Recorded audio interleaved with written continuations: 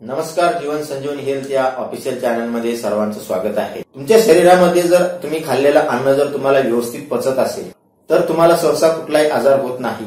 पण जर हे तुमच्या शरीरामध्ये तुम्ही खाल्लेलं जे अन्न आहे ते जर व्यवस्थित पचत नसेल तर जवळजवळ लहान मोठ्या चाळीस आजारांना तुम्ही बळी पडू शकता. तुमचं जर पचन व्यवस्थित नसेल तर. आणि बऱ्याच जणांनी कमेंट पण केल्या आणि सांगितलं की सर पचनशक्ती चांगली होण्यासाठी एखादा आयुर्वेदिक उपाय सांगा. तर तुमची जर पचनशक्ती चांगली नसेल तुम्हाला भूक न लागणे पोट साफ न होणे ऍसिडिटीची समस्या असते पोट दुखतं छातीमध्ये जळजळ होतं तुम्हाला थायरॉइडचा प्रॉब्लेम होऊ शकतो थोडंसं काम केलं तरी दम लागून येतो चेहऱ्यावर खूप मोठ्या प्रमाणामध्ये पिंपल्स येतात हे सुद्धा अपचनाच्या समस्येशी रिलेटेड आजार आहे. त्याच पद्धतीनं तुम्हाला घाबरल्यासारखं होणे झोप व्यवस्थित न लागणे असे लहान मोठे चाळीस आजार हे पचनाशी रिलेटेड आहेत. पचन तुमचं जर चांगलं नसेल तर हे सर्व आजार तुम्हाला होतात जर तुमचं पचन चांगलं असेल तर तुम्हाला कुठल्याही औषधाची गरज पडत नाही. सहसा तुम्हाला कुठलाही आजार होत नाही.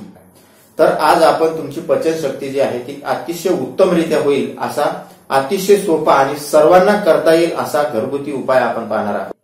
तर या उपायासाठी तुम्हाला लागणार आहे बडीशोप. बडीशेप सर्वांच्या घरामध्ये सहज उपलब्ध असते बडीशेपचे गुणधर्म तुम्हाला माहिती सुद्धा आहे की पाचन शक्ती वाढवण्यासाठी बडीशेप खूप उपयुक्त आहे. पण याचा उपाय कसा करायचा आहे ते आपण पाहूया. तर एक कप तुम्हाला पाणी उकळवून घ्यायचं आहे उकळतं पाणी घ्यायचं आहे एक कप. आणि त्यामध्ये एक चम्मच बडीशेप टाकायचे आहे.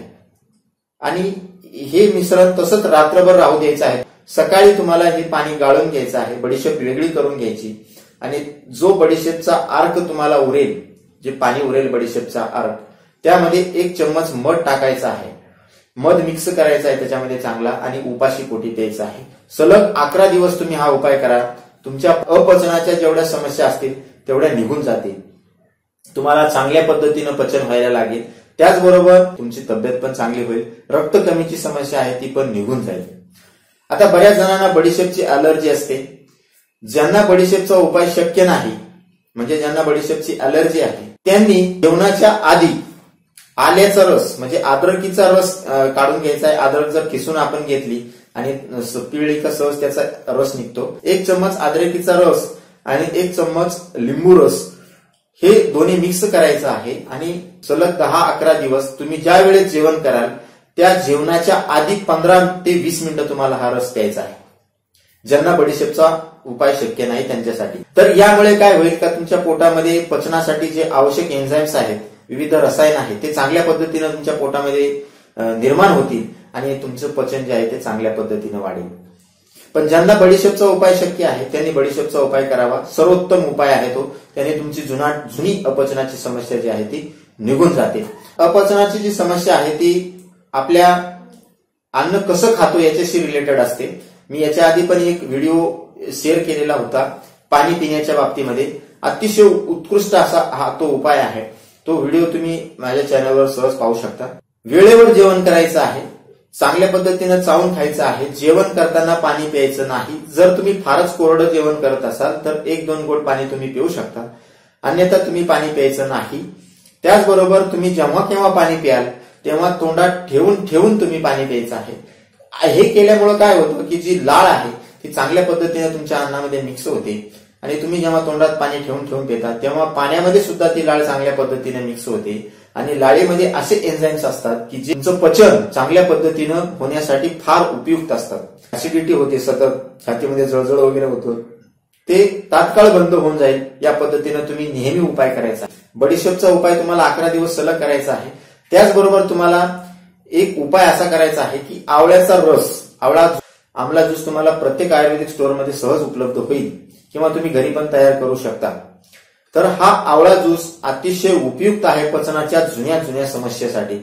तर काय करायचं आहे तुम्ही जेव्हा सकाळी जेवण कराल म्हणजे तुम्ही बडीशेपचा उपाय केल्यानंतर जेव्हा जेवण कराल त्यानंतर तुम्हाला दोन चम्मच आवळ्याचा ज्यूस प्यायचा आहे. सकाळी पण तसंच करायचं आहे जेवण झाल्यानंतर आणि संध्याकाळी पण त्याच पद्धतीनं दोन चम्मच आवळ्याचा रस तुम्हाला द्यायचा आहे.